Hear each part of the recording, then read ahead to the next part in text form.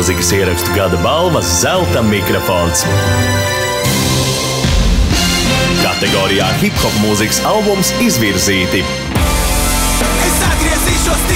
Jauda, Ozols,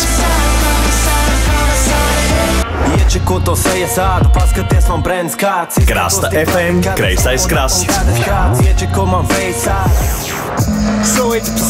Lavīna, Arturs Skutelis.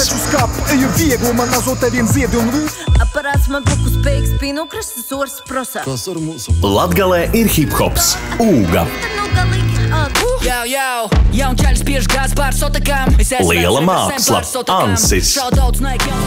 Uzvarētājs sveiksim 16. martā sadarbībā ar Laipa. Partneris Vivus LV izvēlēs savu elektrumu gada dziesmu portālā Skaties LV, jo mūsu mūzika ir mūsu zelts.